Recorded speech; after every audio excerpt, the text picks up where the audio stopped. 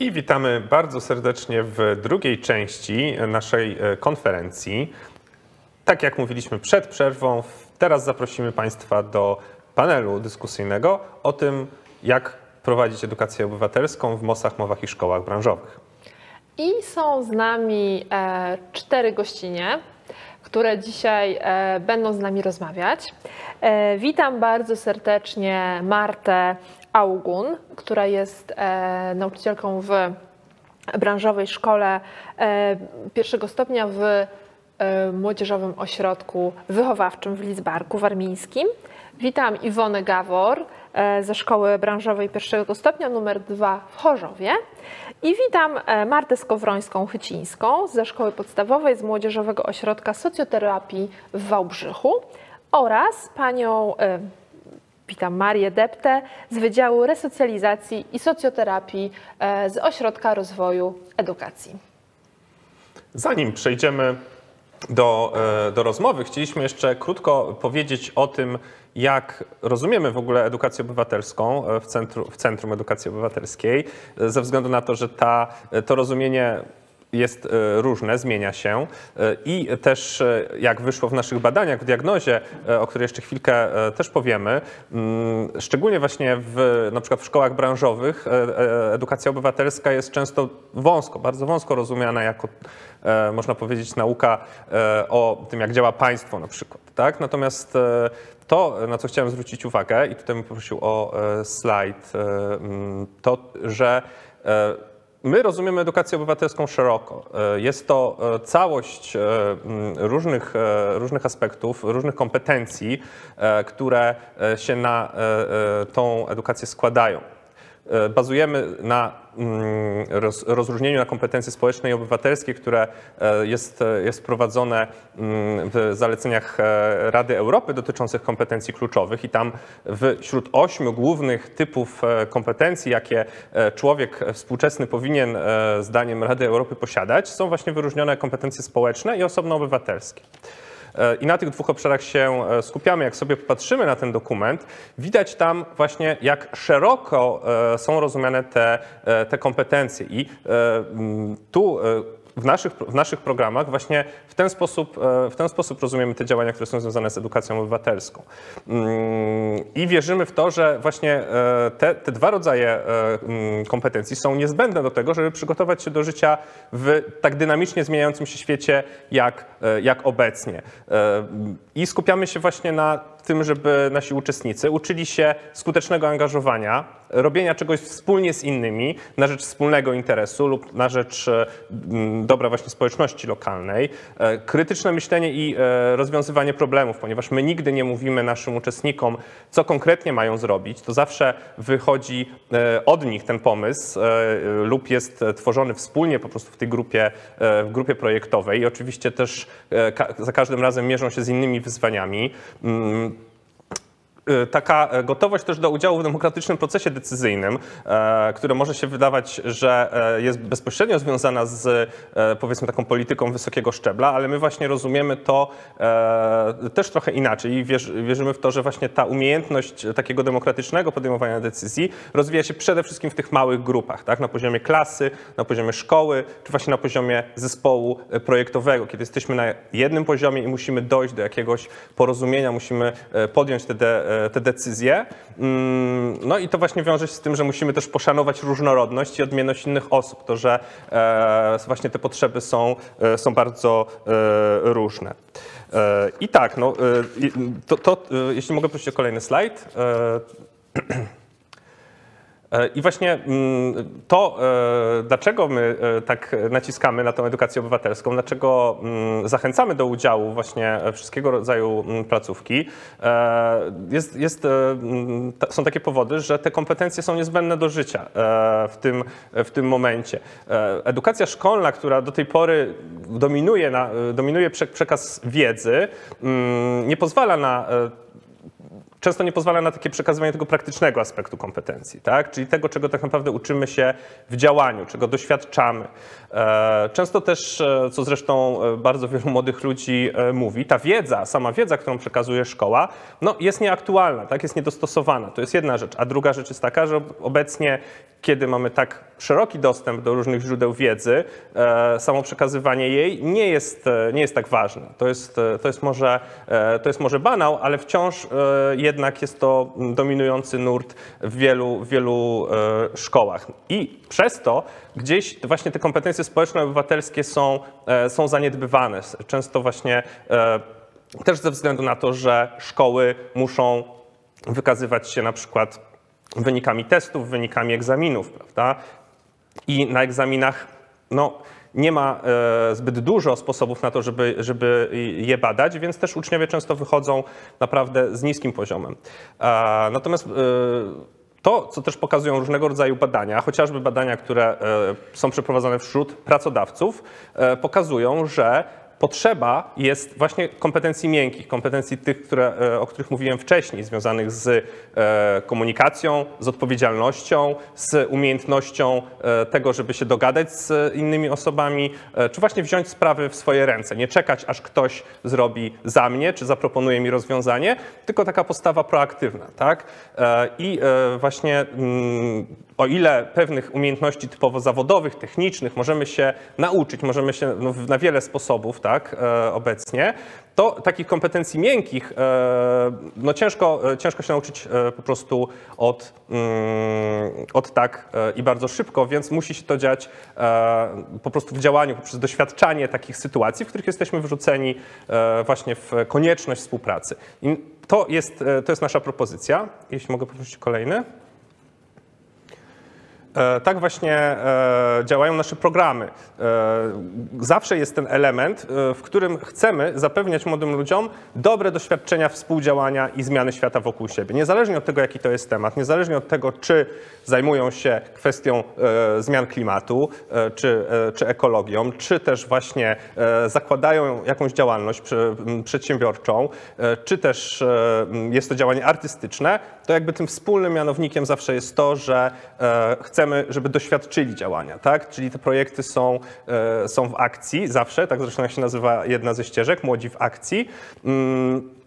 Też tak jak my działamy, no to e, nasz, nasz model działania polega na tym, że nie zastępujemy e, opiekunów, opiekunek. Bardzo ważnym e, tym ogniwem sukcesu są właśnie nauczycielki, z którymi za chwilę będziemy też, też rozmawiać.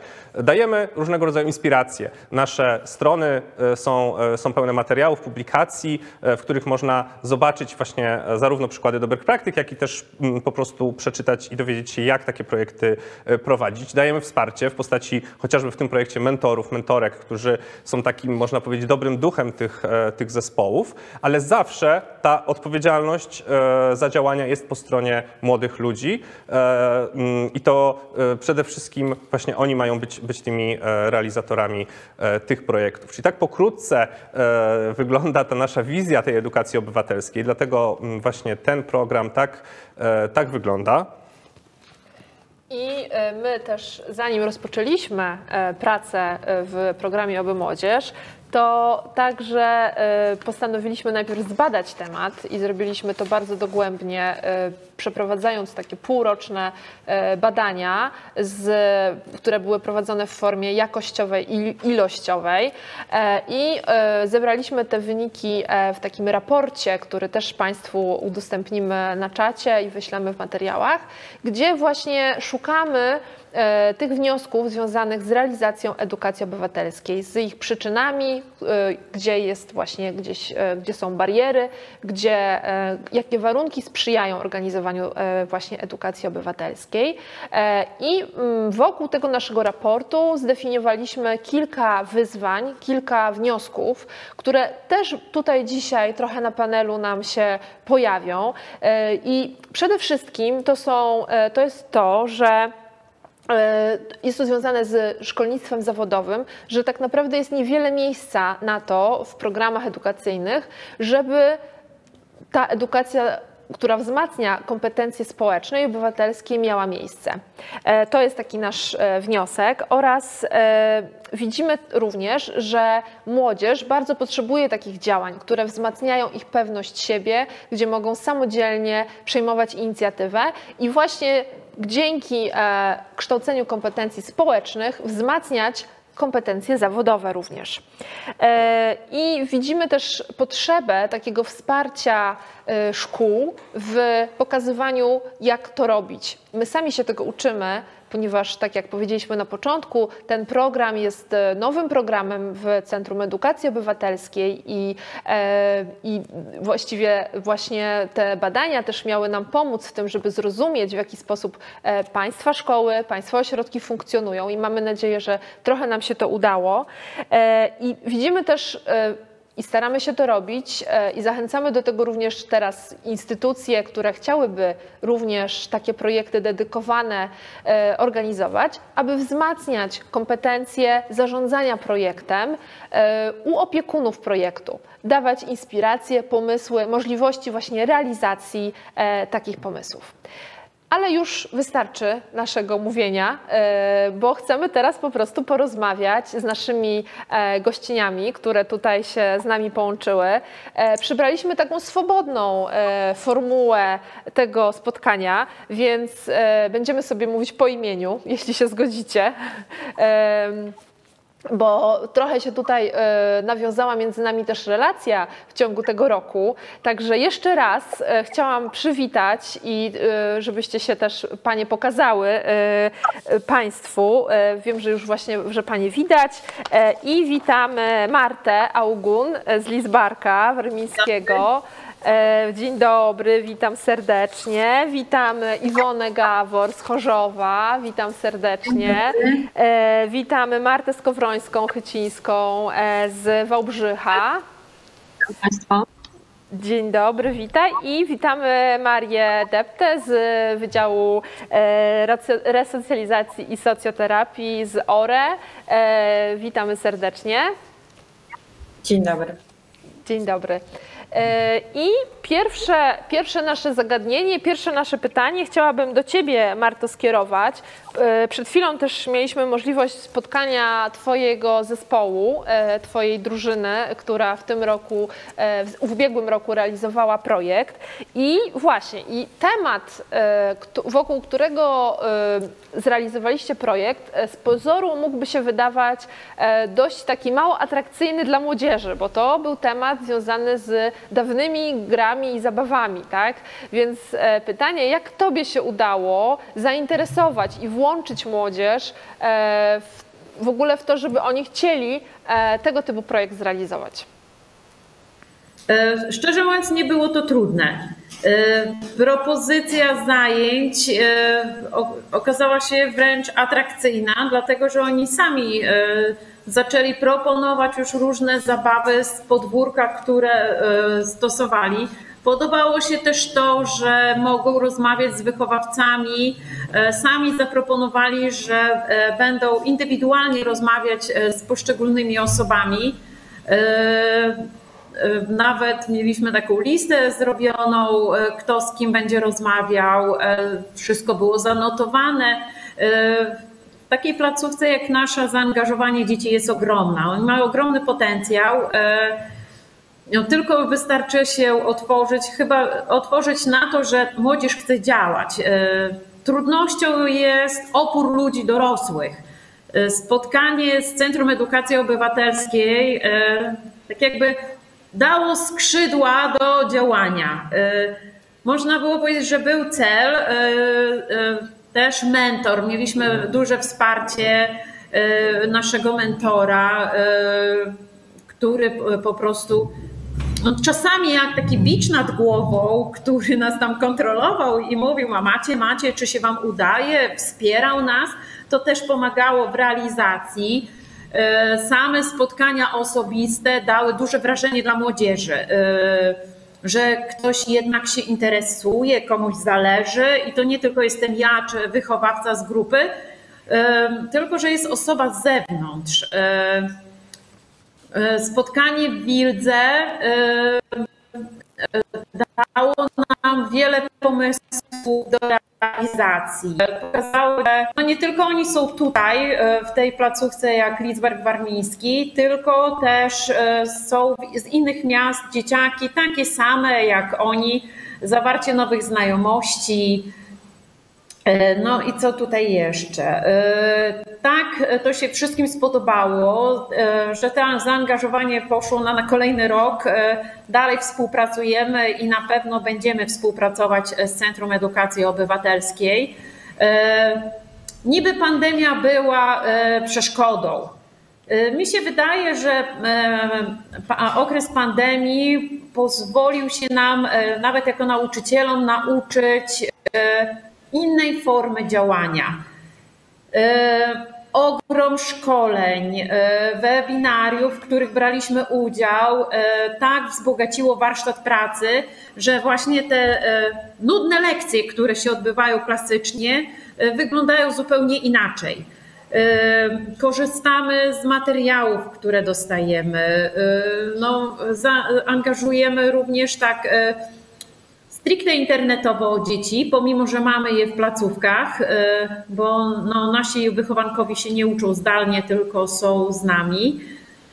Ale e, no, uwielbiają telefony, na których można ogrom rzeczy zrobić e, czy też oglądać filmy i no, nie wiem, różne programy, które dostajemy linkami od Centrum Edukacji. E, no, ja jestem bardzo zadowolona ze współpracy. Dzieciaki też. Za grant kupiliśmy gry planszowe, które wykorzystujemy popołudniami czy w weekendy. E, teraz będziemy znowu organizować turniej e, gier planszowych.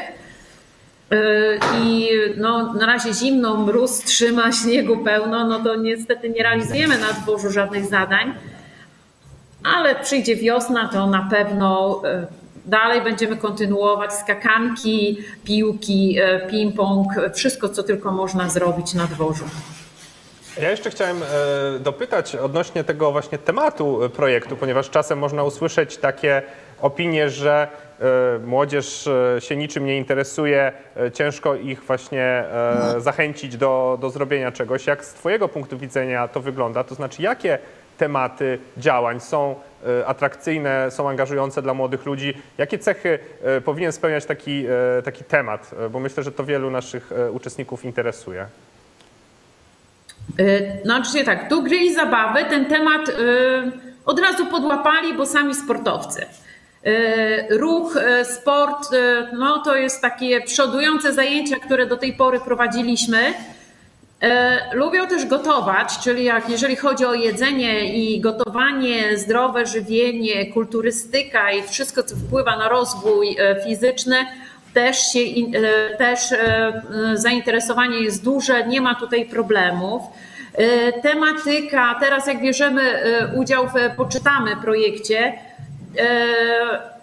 też on został pochłonięty przez nasze dzieciaki, jeżeli chodzi o czytanie książek czy e, zainteresowanie, e, tolerancja, dyskryminacja. E, to też się dobrze u nas przyjęło.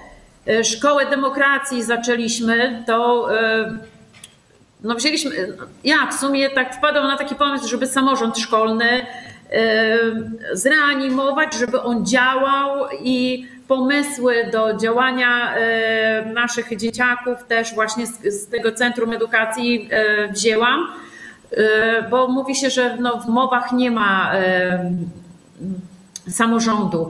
Jest, chłopaki fajnie rozmawiają, propozycje składają, idziemy do przodu. To największym problemem jest bariera ludzka osób dorosłych, przyzwyczajenie do starych zasad, no nauczyciele dinozaury, nie ma co tam powiedzieć.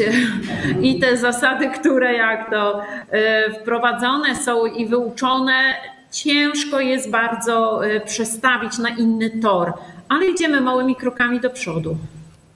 No, ja się bardzo cieszę, to słysząc, że e, bierzecie udział w programie Szkoła Demokracji, czyli e, w naszym projekcie, w którym e, rozwijamy właśnie mechanizmy, w których uczniowie mogą współdecydować o tym, co się dzieje w placówce. Wydaje mi się, że właśnie Młodzieżowy Ośrodek Wychowawczy jest bardzo, bardzo, dobrym, bardzo dobrą instytucją, no ze względu na to, że wy jednak nie tylko spędzacie czas na lekcjach, tak jak w większości szkół, no ale po prostu wychowankowie żyją, tak? Mieszkają. Na dobę, na dobę jesteśmy, nie? Dokładnie, więc tworzycie tak naprawdę taką społeczność, która, no ma, myślę, dużo takich tematów bieżących można powiedzieć, o których można jak najbardziej rozmawiać i e, dyskutować.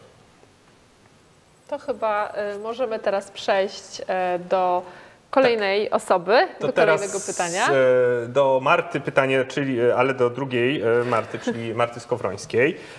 Tu mm, no, rola opiekunki nas też interesuje, ponieważ wiemy, że bez, bez Was, e, bez osób, które pracują z młodzieżą, to oczywiście nic by się e, nie udało. Mm, Gdzieś e, pewnie ten impuls od osoby dorosłej jest niezbędny, żeby projekty się działy, a z drugiej strony no, zależy nam na tym, żeby jednak to były działania, które są młodzieżowe, tak? czyli żeby jednak to młodzież e, e, miała jak największy wpływ na to.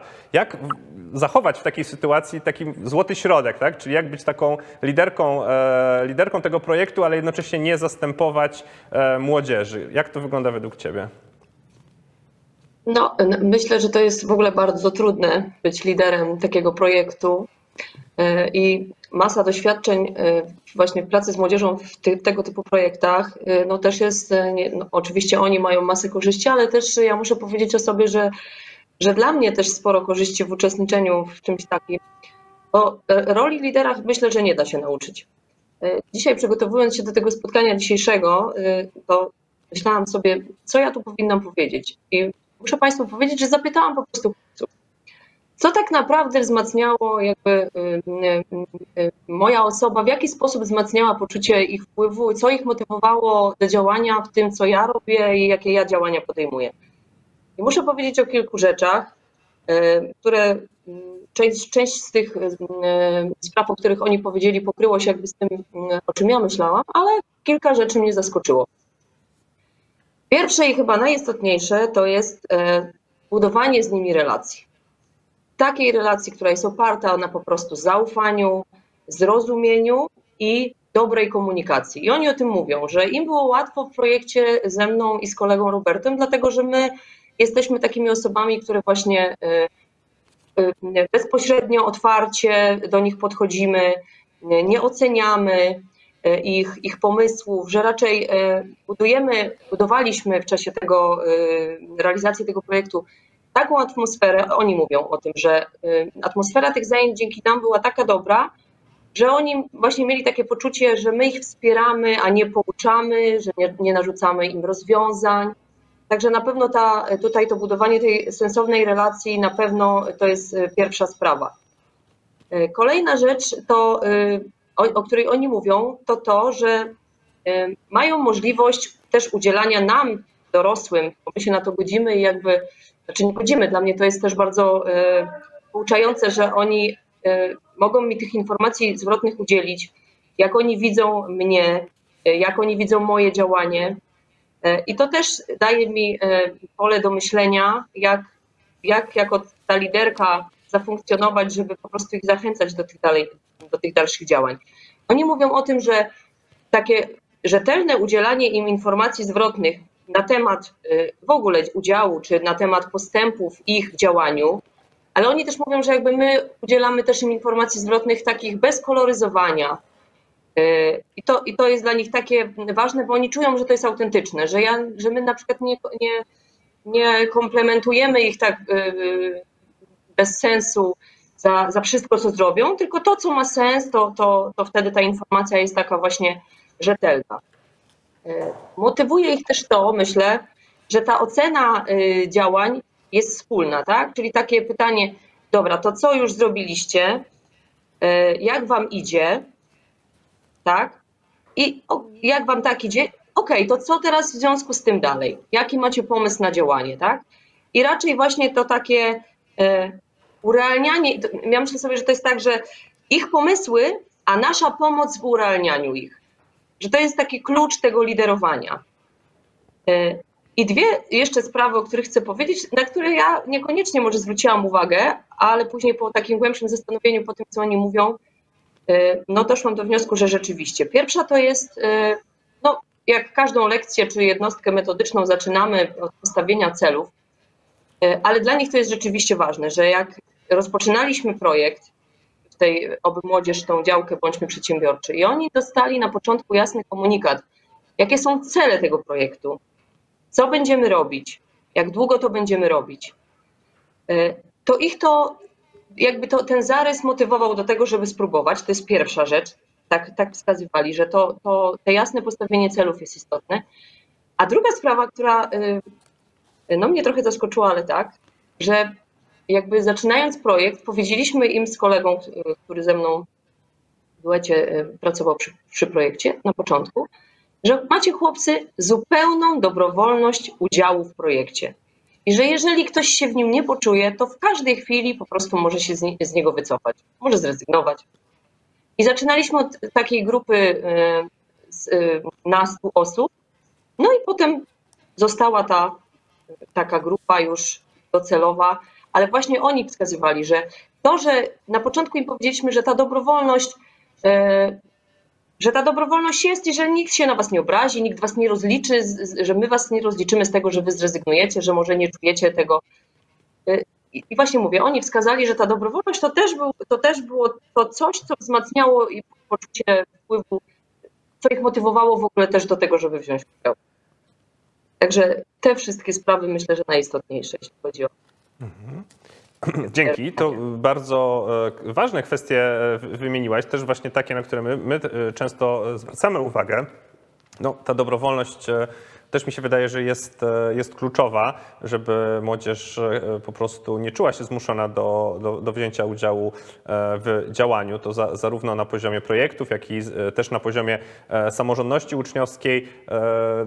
Zawsze podkreślamy, że jeśli mm, no, jeśli młodzi ludzie też nie czują e, chęci, e, to też nie, nie ma co ich do tego e, zmuszać, tak? bo pewnie czasem może być więcej szkody z takiego przymuszonego działania niż po prostu z jego braku. Tak? Być może czasem po prostu wystarczy odczekać chwilę, że, że dla danych osób to może nie jest ten, ten moment po prostu, tak? w którym po prostu tym się za, zainteresują. No i e, określenie celu e, to e, i w ogóle to, że też wymieniałaś takie elementy, które są związane z, mm, z ocenianiem kształtującym, które też bardzo promujemy, czyli że właśnie wspólnie z uczniami ustalamy sobie cele, czy na poziomie lekcji, czy na poziomie działania i udzielamy też informacji zwrotnej, tak? czyli nie, nie zostawiamy tego albo do oceny takiej po prostu numerycznej, która tak naprawdę niewiele mówi o zdobytych umiejętnościach, tylko no, jest to wysiłek na pewno ze strony ze strony e, opiekunki, żeby, żeby taką informację zwrotną dać, ale na pewno jest to, jest to bardzo cenne. Dzięki. E, teraz jakby trochę przejdziemy z takich ogólnych warunków, które właśnie motywują młodzież, e, do działania oraz z roli opiekuna, opiekunki projektu do takie konkretne pytania o kompetencje, ponieważ spotkaliśmy się tutaj w takim e, temacie właśnie jak edukacja obywatelska może wzmacniać kompetencje zawodowe. I teraz będę kierowała pytanie do Iwony, do Iwony Gawor, do Ciebie e, o to, jakie Ty widzisz powiązania z realizacją projektu, waszego projektu, właśnie ze wzmacnianiem e, kompetencji e, zawodowych. Ja tylko powiem, że e, sami wasi uczniowie w sprawozdaniu końcowym napisali, że, że jakby dzięki temu projektowi, dzięki temu działaniu, które zrealizowali, zaczęli rozumieć, jak działają przedsiębiorczy przedsiębiorcy w ich rejonie, tak? Czyli to już jest taki sygnał, że gdzieś ta świadomość taka właśnie e, tematu e, właśnie odnalezienia się potem na rynku pracy gdzieś jakoś też tutaj zakiełkowała. Więc pytanie właśnie do Ciebie o to, jakie Ty widzisz powiązania pomiędzy tym działaniem, które zrealizowaliście, a właśnie wzmacnianiem kompetencji zawodowych. Tak, nasza grupa e, projektowa to byli uczniowie z różnych zawodów. Był fotograf e, i fryzjerka, e, i krawcowa, i mechanicy. Więc jeżeli tak się temu przyjrzymy, to każdy z tych zawodów posiada własne kompetencje zawodowe i można by powiedzieć, że one są różne w każdym zawodzie.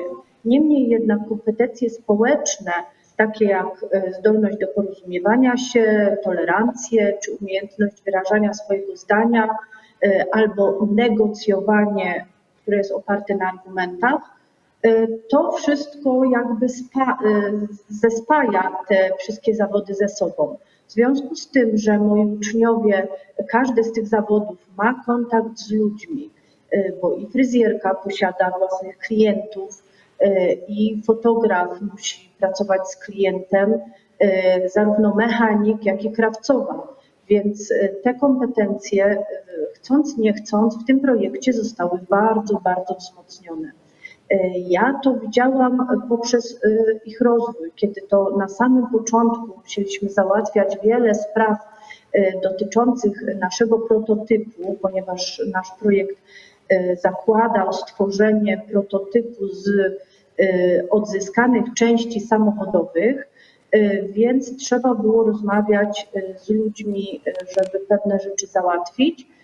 Uczniowie mieli opory i naprawdę często pytali mnie jako nauczyciela, a co my mamy powiedzieć, jak my mamy się zachować, jak mamy porozmawiać z tym kimś na temat tego, co chcemy od niego uzyskać. Niemniej jednak już prawie po, przy pierwszej wizycie naszego mentora było widać, że ich te kompetencje się wzmocniły. One, oni chcieli pokazać mentorowi, że potrafili coś załatwić, że im się to udało i że zrobili to sami. Mimo, że gdzieś tam zawsze z tyłu stałam jako pomoc w razie potrzeby, to jednak większość rzeczy oni załatwili sami. Więc można uznać, że te kompetencje faktycznie w tym projekcie były no, zauważalne, tak? Poprawiła się między innymi komunikacja między nimi. Na początku bardzo ciężko było wypracować coś wspólnie. Za plecami, jak, jak rozmawialiśmy, jak rozmawiałam z nimi pojedynczo, to każdy miał jakąś wizję. Niemniej jednak na forum grupy był to już problem i, i nie bardzo chcieli się wypowiadać. Po pierwszej wizycie mentora to się diametralnie zmieniło. Oni bez problemu rozmawiali na różne tematy, nawet trudne. Czasami zdarzyło im się pokłócić, ale była to taka bardzo motywująca kłótnia i najczęściej wynikało coś z tego pozytywnego. Dochodzili do jakiegoś wniosku, podejmowali ważną decyzję. Kiedy układaliśmy ankietę do, dla potencjalnego odbiorcy naszego produktu, to naprawdę burza mózgów była bardzo owocna i tych pytań natworzyło się mnóstwo i dało radę coś z tego wybrać. Więc było widać, że mimo różnych zawodów, mimo nieśmiałości i mimo no, nie wiem do końca jak to powiedzieć, ale byli tacy wycofani na początku tego projektu. Po jakimś czasie oni się otwierali, oni nie bali się mówić, oni nie mieli skrupułów, żeby do kogoś zadzwonić i zapytać o ten czy inny element.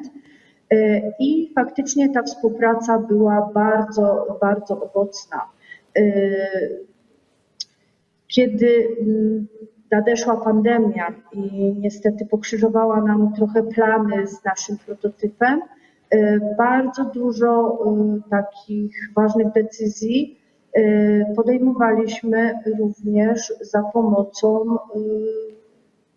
komunikatora.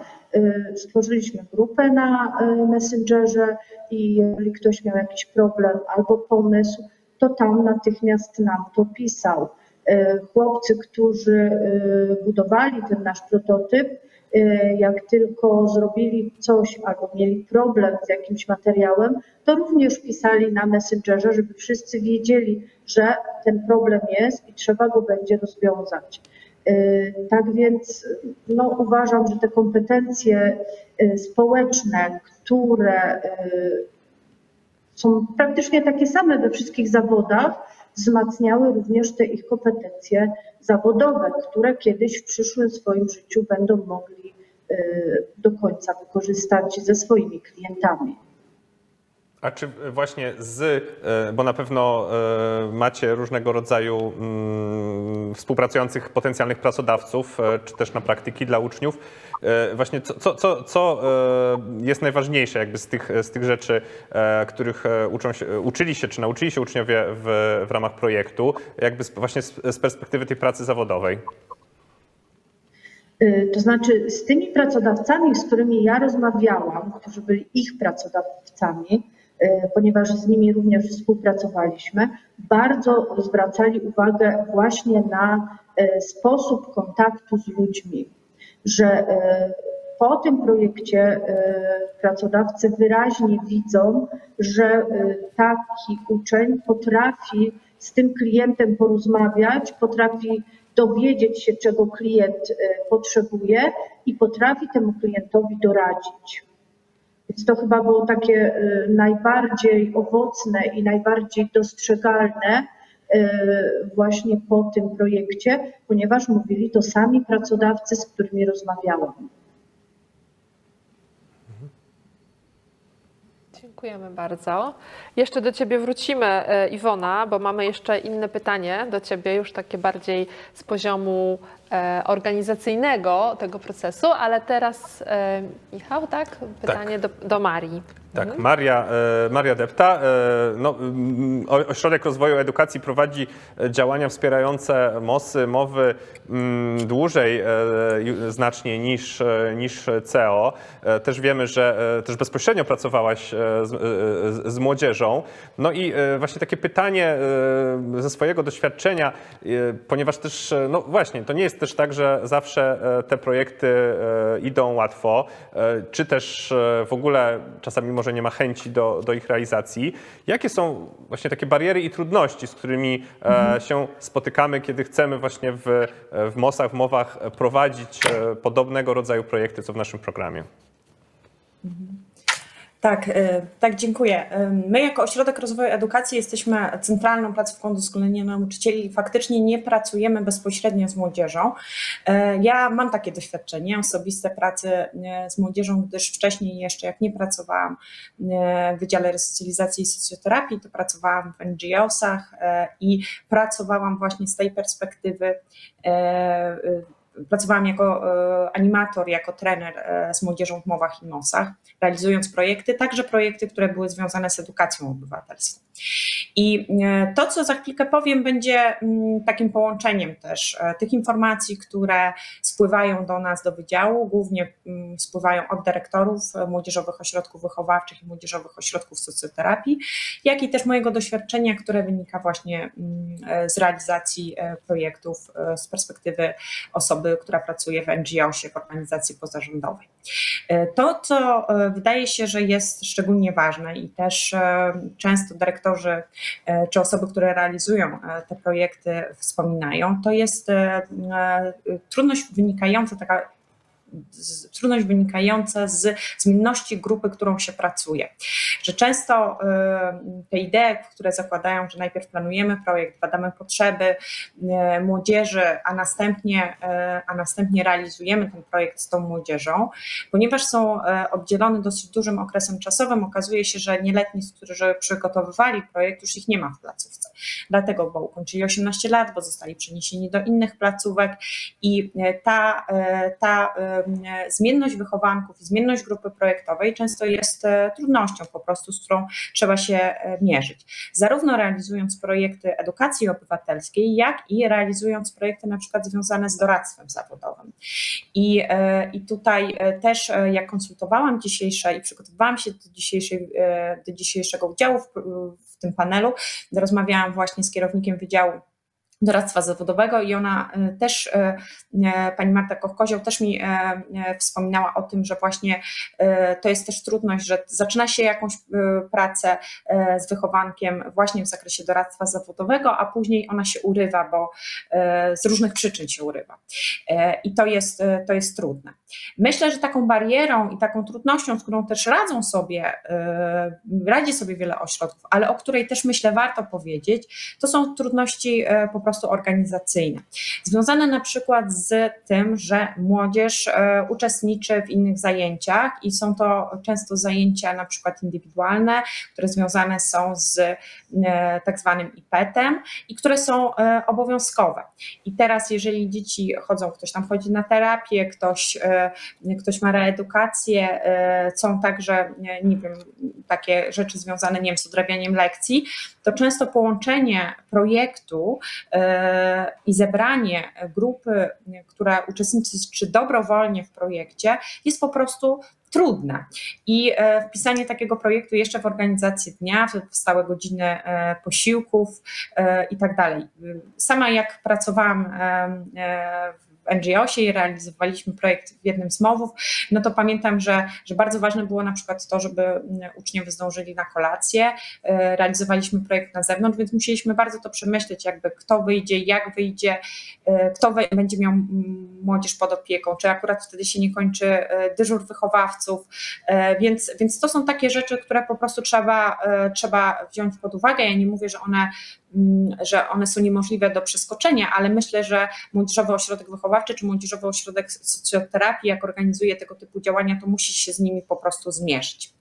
E, to jednocześnie wymaga zaangażowania wielu osób, ponieważ e, właśnie na przykład e, realizując projekt, który jest oparty też na zasadzie dobrowolności, no jakby zabieramy część młodzieży z ich stałych zadań, no to też to trzeba po prostu skonsultować z wychowawcami innymi e, i, e, i, i to czasem e, no, po prostu jest czasochłonne, żeby zaangażować te inne osoby w ten projekt. No i tutaj myślę, że bardzo ważne jest to, żeby w ten projekt, który realizujemy, było zaangażowanych więcej osób, czyli żeby więcej osób z placówki rozumiało, jakie są cele projektu, jak to realizuje też cele wychowawcze, jak, żeby była możliwość zaangażowania e, jakoś e, e, także dyrekcji placówki, żeby rozumiała znaczenie tego projektu. To w ogóle realizacja tych projektów wymaga elastyczności i, i tak jak mówię, wiele, wiele ośrodków sobie z tym radzi, ale także po prostu wydaje mi się, i to mówię już z perspektywy animatora, trenerki, że, że często oddanie odpowiedzialności jest trudne. Zwłaszcza oddanie odpowiedzialności osobie, e, dzieciakom, które są niedostosowane społecznie. I myślę, że to e, wymaga też kompetencji osobistych e, wychowawców, liderów, żeby tą odpowiedzialność oddać i żeby porzucić kontrolę, którą, którą, którą prowadząc takie zajęcia bardziej standardowe, no, nauczyciel ma większą po prostu. I to oczywiście jest ryzyko to jest ryzyko i, i, myślę, że tutaj bardzo ważne jest też wzmacnianie, e, wzmacnianie liderów e, projektów, też przy, przy radzeniu sobie z różnymi trudnościami i też no, takim zastanawianiem się, co, co się wydarzy, gdy, gdy, gdy młodzież wymyśli, no nie wiem, coś nieodpowiedniego, albo kiedy mm, jak rozmawiać z młodzieżą, jak pokonywać trudności, które się oczywiście w takich projektach pojawiają i, i kryzys też jest często wpisany w tego typu e, prace. To jest po prostu też e, trudne i wymaga, wymaga przygotowania i wsparcia. To, e, jakie trudności, bariery e, jeszcze e, zgłasza część, część dyrektorów, no to co są trudności finansowe po prostu, czy trudności związane z dojazdem specjalistów do placówek, które często oddalone są od, od dużych ośrodków.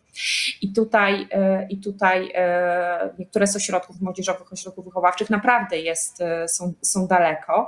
I, i często zaproszenie specjalistów nie jest, nie jest proste, bo często animatorzy, którzy, którzy są zainteresowani tematem, no, pracują w, na przykład w młodzieżowych ośrodkach wychowawczych czy młodzieżowych ośrodkach socjoterapii, które no, znajdują się w miarę blisko ich miejsca też, e, też zamieszkania. I to są takie trudności, które, które się pojawiają, które e, też, e, które my zauważamy. E, to, co myślę, że jest bardzo ważne też, i to też mówię z punktu widzenia pracownika Wydziału Resocjalizacji i Socjoterapii, ale także trenerki, że bardzo ważne w tego typu projektach jest poznanie wartości placówki, z którą się pracujemy. To jest takie pytanie, czy pracuję w systemie, czy poza systemem. I jednak tutaj wchodząc do Młodzieżowego Ośrodka Wychowawczego, czy Młodzieżowego Ośrodka Socjoterapii, pracujemy w systemie. I bardzo jest ważne, żeby projekty, które realizujemy, były zgodne też z pewnym nurtem wychowawczym placówki. E, niestety spotkałam się z takimi projektami, które oddały odpowiedzialność, oddały wolność młodzieży, która następnie stworzyła, akurat to dotyczyło spektaklu teatralnego, bardzo wulgarny spektakl, w którym też e, źle mówiła na przykład o części wychowawców. No i oczywiście i na ten spektakl zostały zaproszone e, właśnie dyrektor placówki e, e, i inne osoby, wychowawcy. I jakby tutaj jakby no powstał, powstał taki, takie pytanie, czy to było dobre dla procesu wychowawczego nieletnich. Dyrektor wiem, że po tym, po tym doświadczeniu w ogóle miał kłopot z podejmowaniem dalszej współpracy z liderami, więc ja jako osoba, która no też jest po, po resocjalizacji, wydaje mi się, że bardzo bardzo ważne jest, żebyśmy też byli w kontakcie z placówką, widzieli, jakie wartości są ważne dla placówki, jakie są zasady w placówce i też szanowali e, te zasady, które, e, które, są, e, które są w placówce. To, co sprzyja też, wydaje mi się, mm, tej organizacji i w ogóle sprzyja realizacji takich projektów, no to jest przede wszystkim szukanie wsparcia to co, to, co wydaje się, że tu jest szczególnie może być ważne, to tworzenie sieci wsparcia i też sieci e, takiej mm, e, szkoleń, w których e, tacy liderzy wspólnie uczestniczą. No tutaj CEO myślę, że robiło takie, takie działania i to już zostało wcześniej powiedziane przez moje wcześniej poprzedniczki, ale, ale ja też chciałam to podkreślić, że to jest ważne i dlatego my jak organizujemy e, warsztaty, szkolenia, no to e, też staramy się, żeby taki był czas po prostu na wymianę doświadczeń, na to, że niezależnie od tematu szkolenia, niezależnie od, e, od tego, co tam się dzieje pod względem treści czy przekazywanych metod, to, co uczestnicy zawsze podkreślają w ankietach ewaluacyjnych, że możliwość spotkania się z innymi osobami, które pracują w innej na przykład części Polski, realizują podobne rzeczy, ale inaczej sobie radzą z trudnościami, jest szalenie szalenie cenne. E, to co, to, co wydaje mi się jeszcze jest e, bardzo istotne, to jest zaangażowanie właśnie całej placówki w realizację projektu. A dyrekcja też e, ważne jest, żeby dyrekcja wiedziała, jakie, jakie są wartości, dlaczego to jest ważne, jak edukacja obywatelska czy edukacja zawodowa wpisuje się w misję i wizję całego ośrodka.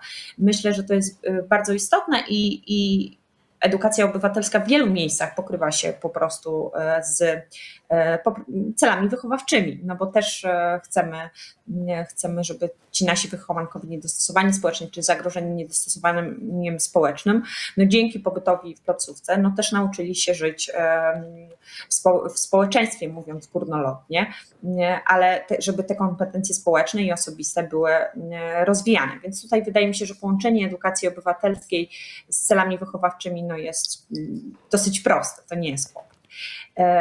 E, kolejna rzecz, e, która też sprzyja, e, wydaje mi się, realizacji tego typu projektów, to jest cykliczność tych spotkań, czyli, czyli wpisanie ich niejako w plan placówki, że wiadomo, że o tej porze takie zajęcia się odbywają.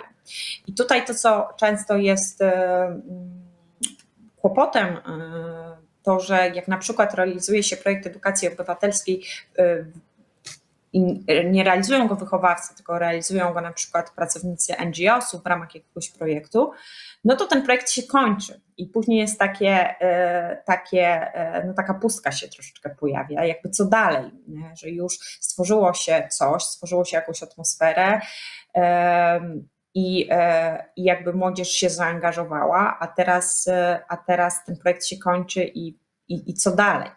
I e, pamiętam, jak młodzież e, nam powiedziała po zakończeniu, na, na, na takim podsumowaniu projektu, no ale nie, nie, możecie nas teraz tak zostawić, no jakby już zaczęliście coś robić. I to jest też kwestia mm, podjęcia też odpowiedzialności za projekty, które się realizuje, no i na pewno warto też myśleć o jakiejś kontynuacji, czyli jak taki projekt będzie mm, kontynuowany e, w przyszłości. To, co wydaje się również bardzo, bardzo ważne i co też wspiera, no to, to zakończenie projektu jakimś finałem i świętowanie sukcesu. I to jest ważne, wydaje mi się, zarówno ze względu na kompetencje osobiste poszczególnych wychowanków, ale także i całej grupy, która bierze udział w danym, w danym działaniu, e, ale to także jest ważne ze względu na wizerunek wychowanków i tutaj no jakby wszystkie osoby, które są jakoś tam zaznajomione z twórczą resocjalizacją, no mogą powiedzieć, że to jest, e, to jest bardzo ważne, żeby wychowankowie też pokazywali się z innej strony, nie tylko jako właśnie te trudne dzieci, mówiąc kolokwialnie, tylko jako twórcy, jako artyści, jako przedsiębiorcy. To może być też moment, w którym placówka też e, się może pokazać. Mam jeszcze dwie rzeczy do powiedzenia, ale już czuję, że, e, że być może mówię za długo, więc. E, Możemy więc... zostawić tę drugą turę jeszcze, żeby, żeby było o czym mówić, e, bo bardzo dużo tak, wątków tak, też się tak. pojawiło tutaj, e, trudności, wyzwań, ale też właśnie tych cech, które powinny spełniać projekty edukacji obywatelskiej. O części zresztą też piszemy w naszej e, publikacji, e, którą e, Państwo mogą na czacie link znaleźć. Myślę, że też zaraz też będzie ponownie wysłany. I w badaniach też jestem ciekawy, jak nasze pozostałe panelistki z tymi wyzwaniami sobie radziły. Tak, ja mam e, pytanie do Marty Augun ponownie. E, co byś, e, jakby też trochę zahaczając jeszcze o zaangażowanie młodzieży, też po tym, co się tutaj pojawiło w, w wypowiedziach Twoich poprzedniczek, to co byś doradziła jakby na start takiemu, takiej osobie, która zaczyna projekt, właśnie żeby to zaangażowanie młodzieży podtrzymać?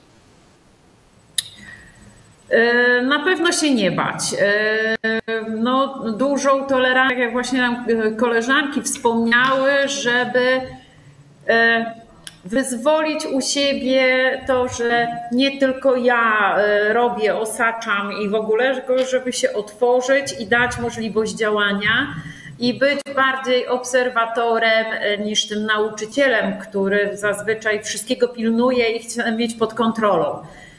Jest to trudne. Y, y, dla opiekuna jest to bardzo trudne. Y, w głowie trzeba ułożyć sobie, że oni dadzą radę, zrobią to lepiej ode mnie i że no, no nie ma się czego bać. Tak samo w resocjalizacji musimy pozwolić działać dzieciakom samemu. Oni są świetni w swoich działaniach naprawdę e, dają dużo z siebie. Jak się da możliwość e, otworzenia i pokaże się, że to jest ich praca, naprawdę świetnie to wychodzi. Zaangażowanie zawsze jest, dlatego że może, może to też wynikać z tego, że jesteśmy w jednym miejscu i nie ma perspektywy wyjścia i zrobienia też czegoś innego. Czyli jest pomysł, działanie, realizacja, naprawdę tylko się otworzyć i no, nie bać się działać. Dziękujemy, dziękujemy bardzo. E, tak, no, y, jeszcze bym dopytał właśnie, no bo to, to, to mnie ciekawi z e, takiej też praktyki, ponieważ mm, no też dość często się stykamy z takimi sytuacjami właśnie, że e, opiekunowie mówią nam, no, y, tak nie do końca mogę oddać e, młodzieży to pole właśnie, bo jak coś nie wyjdzie, tutaj tak jak e, w historii, e, którą Maria przytoczyła, tak, że no, zaprosimy tam właśnie dyrektora, a jeszcze nie daj Boże kogoś z zewnątrz, no i co to będzie, jak się właśnie nie uda? No, jak, jak ty sobie właśnie z tym, z tym radzisz, czy też może jak przekonujesz swojego dyrektora, że na przykład właśnie no, te błędy są, są naturalne? Mi jest łatwo działać, dlatego że ja jestem pedagogiem. E, nie jestem nauczycielem przedmiotu, więc ja mam e, większe pole do popisu. Ja mogę być e, tam, gdzie chcę, kiedy chcę. Dyrektora mamy też wspaniałego, który daje nam szeroką możliwość działania. Nie, nie ogranicza nas, a wręcz mówi: no to rób. Jeżeli to nie przekracza nie wiem, granicy prawa, czy no, nie zaszkodzi placówce, mówi do nas działajcie. E, to też e, dodaje takie, takich skrzydeł, możliwości po prostu twórczego działania i otwarcia się na różne propozycje. Tak jak wcześniej tam koleżanka spojrzała, że dyrektor jest najważniejszy. My nie mamy obawy przed tym, że się tam coś nie uda, bo dyrektor nas nie krytykuje, nie ocenia. Znaczy, no, na pewno ocenia, ale to nie jest tak, że o, nie wyszło ci, to więcej nie rób. Z, z reguły dyrekcja podchodzi do tego, że no, teraz się nie udało, ale działajcie, pójdzie lepiej, następnym razem będzie fajniej, albo mówi do nas, no, średnio mi się podobało, ale jakbyście poprawili tam dwa szczegóły czy trzy, to będzie już to wyglądało fajniej. E, no to no naprawdę no, ja nie mogę narzekać, tak? E, w tym roku zaangażowałam jeszcze kolegę, bo samej mi było ciężko działać. E, robimy już teraz we, we dwójkę. Wspierają nas wychowawcy. Działania rozłożyliśmy nie na jedną grupę wychowawczą, bo w tamtym roku była tylko jedna grupa wychowawcza zaangażowana. Teraz mam zaangażowane trzy. E, no i jesteśmy zadowoleni z tego całego działania e, również. E, a biorąc pod uwagę, że mamy dzieci coraz młodsze, bo trafiają się do nas dziewięciolatki, to mamy co robić i po prostu działań jest coraz szersze. Dziękuję. Dzięki. No, Ale dyrektor tak, chyba jest najważniejszy. Tak mi się wydaje, że dyrektor to tak jak już tutaj ostatnia pani wspomniała, dyrektor największa rola, że naprawdę y, trzeba się cieszyć, jak się ma otwartego dyrektora, bo naprawdę można góry przenosić. Zdecydowanie. E, no, pewnie niektórym może się pojawiać pytanie, jak sobie takiego dyrektora wychować, jeśli no, nie, po, nie, do końca e, spełnia te, e, te cechy, czy, czy można w ogóle co, coś zrobić, ale też chciałem też podkreślić to, co, o czym wspomniałaś, że właśnie bardzo ważne jest to, żeby nie być samemu, tak? żeby, żeby znaleźć sobie taką osobę, przynajmniej jedną, która będzie taką sojuszniczką, sojusznikiem naszych działań w, w placówce, i budować trochę taki sojusz, tak? Osób, które, dla których to jest, to jest jakoś ważne. Pewnie im większa placówka, to tym to jest e, bardziej ważne, bo rzeczywiście e, to grono pedagogiczne często też słyszymy, e, że jakby e, no, oporuje tak, czasem e, i, i blokuje różnego rodzaju inicjatywy. No dobrze, to prze, chciałem przejść płynnie do, do, do Marty Skowrońskiej w takim razie. Też, no, tutaj też chętnie chciałem się zapytać Ciebie, jak to z tymi błędami i, i, i tym właśnie też trochę wychowywaniem sobie dyrektora do tego, żeby, żeby jednak była ta przestrzeń na, na, na niedoskonałości. Jak, jak Ty sobie z tym radzisz? I też chciałem zahaczyć jeszcze o drugą trudność, którą wspominała Maria, czyli E, no, taką sytuację wypadania młodych e, z grupy projektowej, tak? bo ona, to, to, to, to się powtarza w wielu, wielu ośrodkach. E, jak wy sobie z tym radzicie, czy też ewentualnie jak temu zapobiegacie, bo to może wy, wy, wy, być przyczyną zarówno no, po prostu odejście tak, ucznia z placówki, ale może być też po prostu spadek motywacji, tak? to, że komuś się już po prostu znudziło i no, na zasadzie dobrowolności po prostu rezygnuje. Czyli dwa, dwie takie trudności jak ty e, e, sobie z nimi radzisz? No to zacznę od tego dyrektora, który jest taki ważny. Myślę, że y, dyrektora mogę przekonać w jeden sposób. Sensownie przedstawić, co chcemy robić, jakie mamy cele i jakie korzyści przyniesie dany projekt młodzieży, bo dla mnie najważniejsze jest to, żeby ta młodzież z tego czerpała i e, żeby była zadowolona. Tak? Po tym ostatnim projekcie właśnie istotne było to, że to chłopcy kończąc projekt przy tym finale, jak udzielali informacji zwrotnych, nie tylko nam, ale przede wszystkim jak się czuli w tym projekcie, czy on im coś dał, jakie z tego mieli korzyści, jak oni mówią, że e, był to dla nich wykorzystany czas, że nie mieli poczucia straconego tego czasu, tak jak to się czasem zdarza w innych zajęciach, jak biorą udział, no to to chyba jest najlepsza rekomendacja do tego, żeby zachęcić dyrektora, że takie działania mają sens. To to jest y, y, pierwsza kwestia. Druga kwestia, jak sobie radzimy z e, takimi problemami organizacyjnymi, o których pani Maria mówiła. Rzeczywiście w MOSach i w MOWach jest tak, że te dzieciaki gdzieś tam po drodze w cudzysłowie wypadają z różnych przyczyn i, i że daną, y, dane działanie rozpoczyna jakaś tam grupa i te dzieciaki gdzieś tam wypadają. To radzimy sobie tak, tak jak tutaj w tym przypadku, że na początku, jak, jak ich, że tak powiem, werbujemy, to, to ta dobrowolność znowu, która przedstawiamy cele, co będziemy robić, zachęcamy po prostu większą grupę tych dzieciaków, żeby w tym brała udział. No i potem nawet jak gdzieś tam po drodze ktoś, ktoś wypadnie, zmienia miejsce, czy wraca do domu, czy, czy zmienia placówkę, to jednak docelowo zostaje tych dzieciaków taka grupa, że, że można to y, sfinalizować, dokończyć, tak? Całe to przedsięwzięcie. Także, w ten sposób. Zawsze się staram to tak zachęcić, żeby z wszystkich grup albo y, wiekowo też, żeby, się, żeby jakby dzieci brały udział y, wiekowo różne, bo to też ma wartość, ale też przeciwdziała temu, że, że, że się nie okaże potem, że, że nie dokończymy działania, bo, bo nie ma z kim. Nie? Jasne. Dziękuję.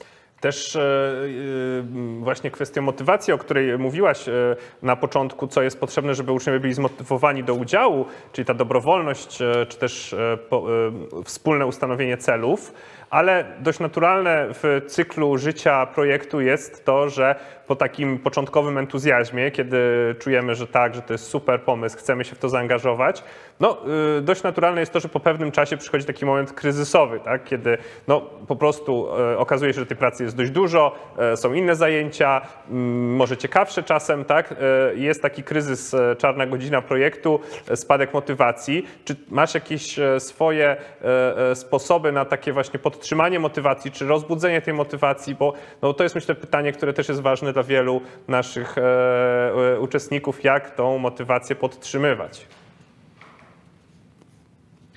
No na pewno to jest tak, że staram się e, dzielić z chłopcami tym liderowaniem i jak ten, jakby uświadamiać im, że te kryzysy są zawsze i, i w każdym działaniu i że to jest nic nienaturalnego.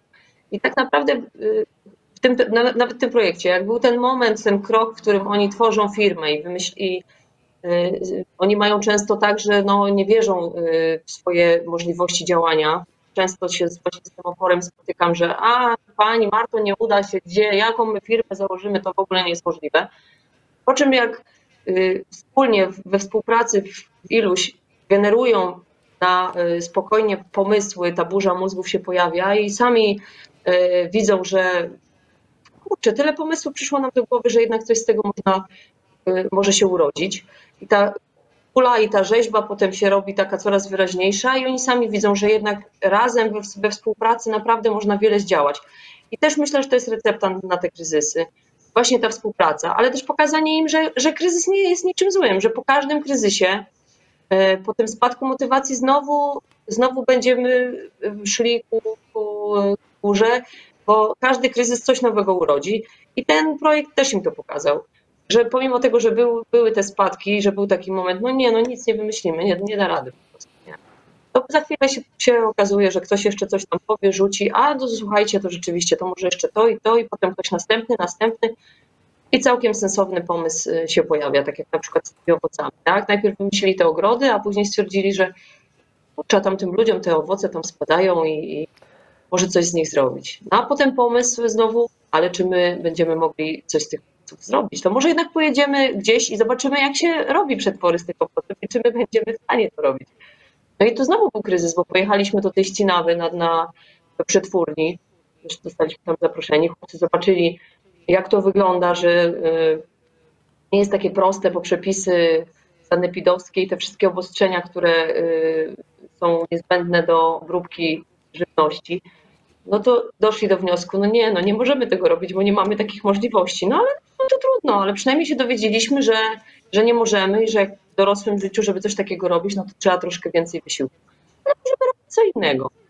Także mówię, kryzys jak najbardziej naturalny i uświadamianie młodzieży, że, że to jest y, przejściowa sprawa i że po, po każdym kryzysie coś nowego się rodzi, sensownego, jak najbardziej. Bardzo dziękuję. A ja chciałam teraz jeszcze przejść z takiego rytmu pracy w młodzieżowych ośrodkach wychowawczych i socjoterapii do szkół branżowych, bo tutaj też e, ten rytm pracy toczy się wokół e, praktyk zawodowych, właśnie tego kształcenia zawodowego. I do Ciebie, e, Iwono, będzie pytanie o to, jak właśnie tutaj stworzyć sobie takie warunki, jak przekonać dyrektora, ale też e, no, to wymaga jakichś ustaleń z przedsiębiorcami, gdzie uczniowie mają praktyki. Jak Ty to zorganizowałaś u siebie? No faktycznie, organizacja e, w ramach tego projektu była trochę karkołomnym przedsięwzięciem. E, ponieważ e, w związku z tym, że nasza grupa składała się z uczniów z różnych zawodów, to e, musieliśmy się mierzyć z tym, że kursy zawodowe mieli w różnych terminach, nie zawsze pokrywały się zajęcia w szkole, te ogólno, zwykle ogólne zajęcia, że uczniowie mogli wszyscy razem być w tym samym momencie w szkole. Dobrze, że przynajmniej mechaników mieliśmy na miejscu, ponieważ y, w naszej szkole takie kursy się odbywają, więc oni y, jakby nie musieli się nigdzie na zewnątrz ewakuować, ale praktycznie od listopada y, mieliśmy ciągle problem, że ktoś gdzieś był na kursach zawodowych i nie mógł uczestniczyć w naszych spotkaniach. No, nie było to proste, powiem ale y, w szkole mamy dużą przerwę, która trwa aż 20 minut. Może tylko, czasami dla nas było aż, ponieważ zdążyliśmy dużo rzeczy załatwić. Więc jeżeli było to możliwe wszyscy byli w szkole w tym samym momencie, a po południu y, mieli na przykład jakieś zajęcia praktyczne i wiedzieli, że no, nie ma szans, żeby spotkać się na dłużej, to spotykaliśmy się częściej właśnie na tych dużych przerwach i dużo spraw załatwiliśmy na dużych przerwach. E, natomiast, e, tak jak już wcześniej mówiłam, e, technologia również nam sprzyjała. Messenger i nasza grupa projektowa też wiele spraw nam ułatwiła, bo nawet jak ktoś był na kursach, a trzeba było od niego wydobyć jakąś informację, no to tą drogą właśnie to staraliśmy się robić. E, oczywiście wymaga to również zaangażowanie wielu osób. Wychowawcy, którzy e, jak była taka konieczność, na przykład zwolnili z godziny wychowawczej na chwilę, żeby rozwiązać problem, żeby dograć coś, co ustaliliśmy wcześniej, a nie da się tego zrobić jakby w innych godzinach. Nasza pani bibliotekarka wygospodarowała w czytelni miejsce dla e, naszych e, osób z grupy, że mogli tam również, nawet wtedy, kiedy mnie nie było w szkole, spotkać się i dogadać kwestie, które w danej chwili wypłynęły i coś trzeba było zadecydować. Pan rzemieślnik, nasz szkolny, również się zaangażował w ten nasz projekt i, i y, z chłopakami y, ustalał różne terminy, kiedy on y, mógłby być, żeby im na przykład udostępnić jakieś narzędzia, które były potrzebne do zbudowania tego naszego prototypu. Nauczyciele przedmiotów zawodowych także służyli nam radą, ponieważ, tak jak powiedziałam, fryzjerka czy Y, fotograf czy krawcowa nie mają zielonego pojęcia o tym, jak powinien ten prototyp z samochodu wyglądać. Y, ja też nie jestem nauczycielem przedmiotów zawodowych, więc nie bardzo znam się na tej kwestii, więc nasi nauczyciele z przedmiotów zawodowych bardzo chłopakom pomogli w podejmowaniu decyzji jaką farbę wybrać, czy taka pianka powinna być, czy może inaczej to umiejscowić, czy może e, coś obciąć albo coś dokleić. I e, naprawdę jestem bardzo wdzięczna, że tyle osób z naszej szkoły e, w ten projekt się zaangażowało. I gdyby nie te osoby, to naprawdę byłoby trudno nam organizować spotkania, takie, żeby no, ten projekt doprowadzić do końca. Y, to faktycznie było trudne zadanie. Mhm. Y, natomiast jeśli chodzi o dyrektora, to ja, tak jak już też moje przedmówczynie mówiły, mam bardzo dobrego dyrektora, wspaniałego wręcz, więc jeżeli pojawiają się jakiekolwiek akcje, gdzie młodzież musi podjąć inicjatywę, gdzie młodzież ma coś do wykonania, ale nie tylko nauczyć się pójść na konkurs i go wygrać, to jest bardzo przychylnie nastawiony do takich akcji. I tak naprawdę wspiera nas w tym. Tak jak i w tym projekcie, zawsze mogliśmy na niego liczyć, kiedy robiliśmy cennik wszystkiego, co firmy dotyczy, czyli na przykład, żeby młodzież wiedziała, że jakby robili to poza szkołą, to trzeba by zapłacić za wynajęcie warsztatu, za narzędzia, które albo trzeba by kupić, albo trzeba było gdzieś wypożyczyć. Trzeba zapłacić za prąd, za gaz, czy tam za, no za cokolwiek, za wodę. Wszystkie dane nam pan dyrektor przygotował. Do tego naszego biznesplanu się jak najbardziej przydały. No i angażował się w to, co robimy. Za każdym razem, kiedy byliśmy już po jakimś etapie, to oczywiście bardzo chętnie chodził oglądać, jak ten nasz produkt wygląda, czy on już się nadaje do wystawienia, czy może jeszcze za chwilę. Tak więc ja tylko życzyć sobie takiego dyrektora i oby wszyscy takich dyrektorów mieli, że w momencie, kiedy jest projekt, który wymaga od uczniów właśnie takiej inicjatywy i samodzielnego działania, to dyrektor jak najbardziej jest za tym, żeby taki projekt kontynuować. Bardzo dziękujemy Iwono. Tutaj właśnie odpowiedziałaś nam bardzo wyczerpująco na te e, dwa pytania. No ciekawe, co, jak przekonać dyrektora, który nie jest do końca przekonany. E, myślę, że tutaj pokazanie korzyści z projektu może mogłoby pomóc. E, I przejdziemy jeszcze do już, bo już zbliżamy się do końca. Jeszcze mamy pytania do Marii.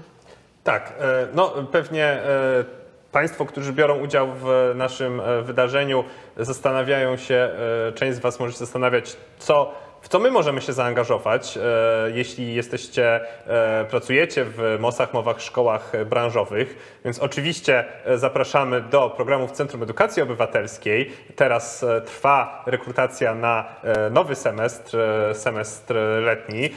Kilka propozycji programowych jest. Znajdziecie je na naszym Facebooku Centrum Edukacji Obywatelskiej i na Facebooku naszego działu Angażuj Obywatelsko.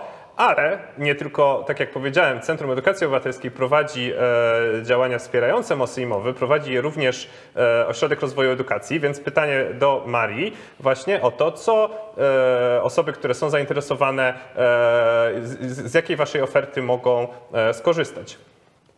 Mhm. Bardzo, e, bardzo dziękuję za tą możliwość też powiedzenia o tym.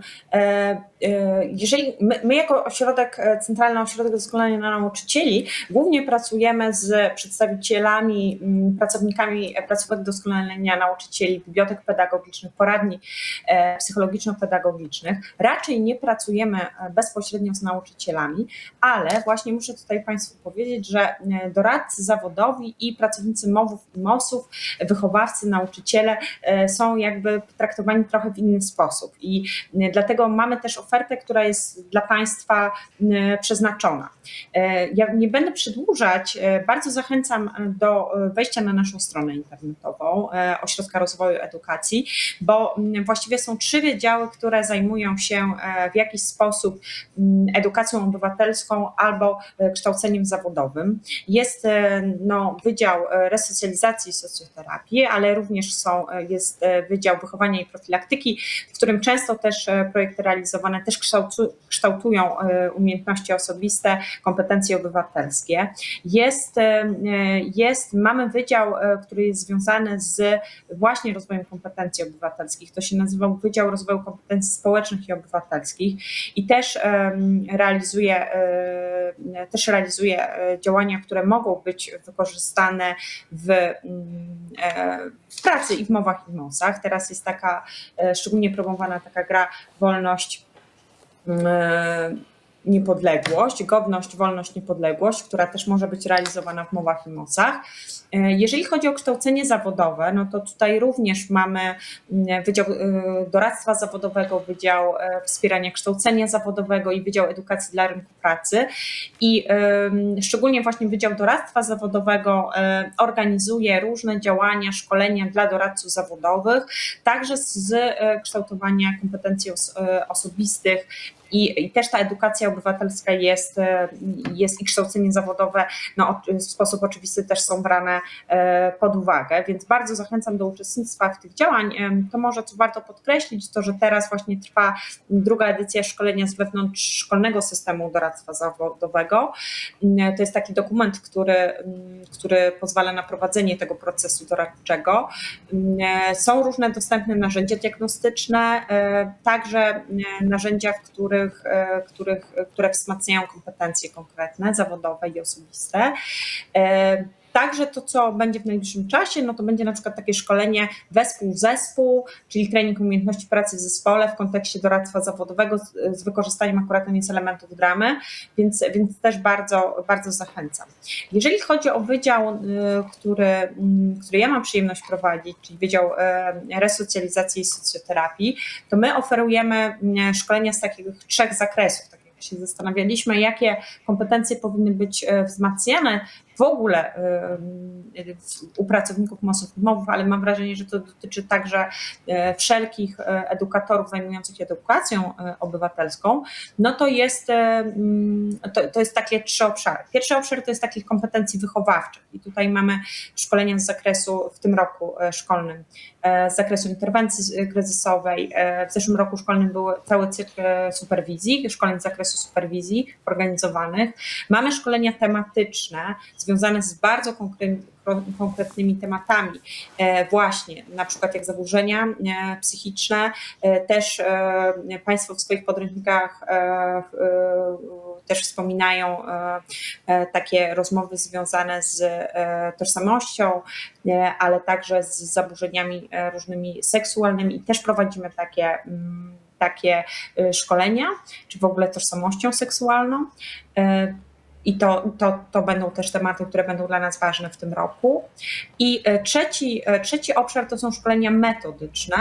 I e, tutaj, tutaj mamy w tym roku szkolenie z zakresu sztuki współczesnej. Już bardzo serdecznie zapraszam. W drugim kwartale będziemy realizować we współpracy z Zachętą takie szkolenie.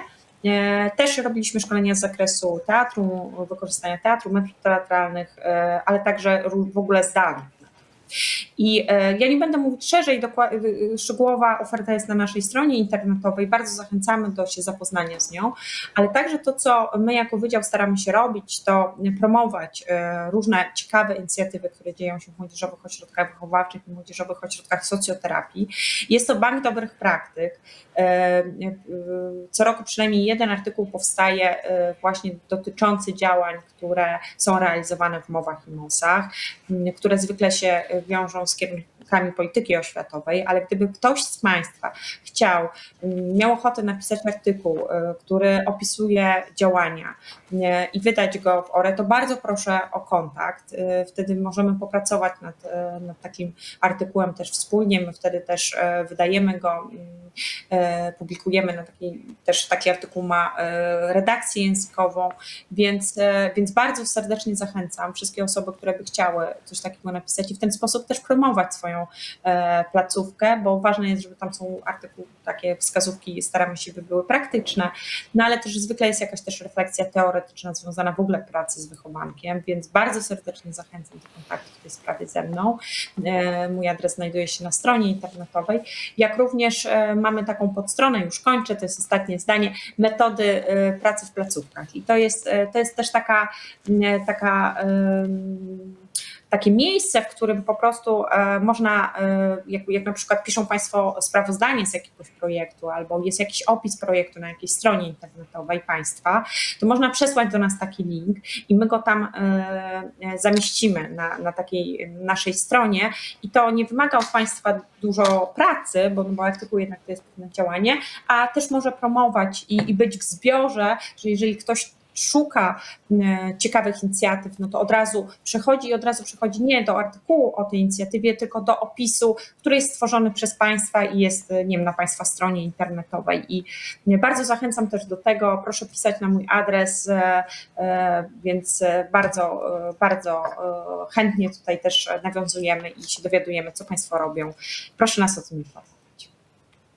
Dziękuję, e, dziękuję Mario za e, przedstawienie ciekawej oferty ORE i oczywiście e, zapraszamy. Dziękuję również pozostałym naszym panelistkom za to, że podzieliłyście się z nami tym praktycznym aspektem pracy projektem, realizacją projektów społecznych w waszych, waszych placówkach. Myślę, że no dużo wątków tu zostało poruszonych. Mam nadzieję, że też dla naszych e, dzisiejszych e, uczestników, uczestniczek było to e, ciekawe i inspirujące i zachęcające do tego, żeby jeśli jeszcze nie spróbowaliście, to spróbować, a no jeśli już tak pracujecie, no to oczywiście mam nadzieję, że to było też rozwojowe. To wszystko jeszcze tylko krótko jeszcze raz zaproszę do tego, żeby korzystać z naszych materiałów, z tego raportu i publikacji, o której mówiliśmy, ale też pozostałych różnego rodzaju materiałów, które znajdziecie na naszych, na naszych stronach internetowych. Mm, tutaj widać adres naszego Facebooka oraz bloga. Na blogu publikujemy właśnie materiały takie bardziej metodyczne, czy, czy różnego rodzaju artykuły. Bardzo dużo w tym momencie bezpłatnych form wsparcia online, e, mm, webinariów na naprawdę e, przeróżne, e, przeróżne tematy. No i tak jak mówiłem już wcześniej, udział w projektach takich jak chociażby Młodzi w Akcji Plus, czy Poczytajmy, o których też przykłady tych działań były, były omawiane. Więc zapraszamy serdecznie. No i nasza relacja dzisiaj z naszego konferencyjnego studia się kończy, ale to nie znaczy, że konferencja się kończy, dlatego że jesteście, jesteśmy tutaj z Państwem do godziny 14. Teraz zaczyna się taka część warsztatowa, webinaryjna.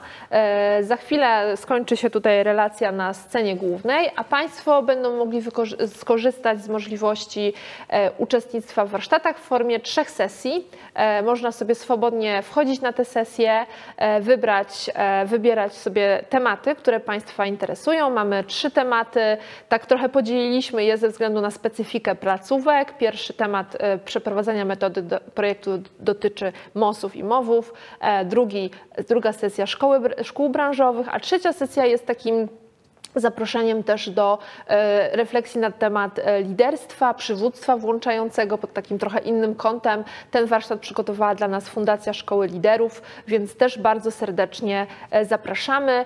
Te warsztaty rozpoczną się o godzinie 12.30 i Gdzieś około godziny 14 na naszym czacie pojawi się też link do pobrania zaświadczenia i również nasze wszystkie materiały z dzisiejszego naszego dnia. I to wszystko. Bardzo dziękujemy, kłaniamy się. Do zobaczenia. Do widzenia. Do widzenia.